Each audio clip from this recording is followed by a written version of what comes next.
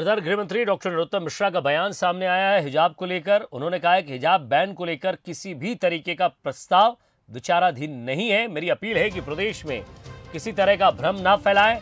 हिजाब मामले पर छात्रा के वीडियो वायरल होने पर भी उन्होंने कहा था। तो दतिया के पीजी कॉलेज में छात्रा का वीडियो वायरल हुआ। उन्होंने कहा, मैंने स्कूल प्रिंसिपल से जारी किए गए आदेश की जानकारी ली। जानकारी को लेकर मैंने कलेक्टर को निर्देश दिए हैं। सौहार्द की जीती जागती मिसाल हमारा दतिया है। जो सोशल मीडिया पर वीडियो वायरल हो रहा है, वो भी मैंने देखा है।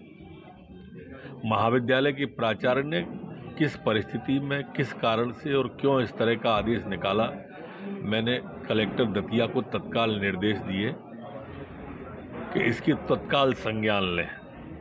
प्रदेश सरकार पहले भी स्पष्ट कर चुकी है कि हिजाब पर बैन को लेकर सरकार के पास में इस तरह का कोई भी प्रस्ताव विचाराधीन नहीं है। इसलिए न तो कोई इसमें भ्रम फैलाएँ और न ही कोई भ्रमपूर्ण कार्रवाई करें, ये सभी से प्रार्थना है।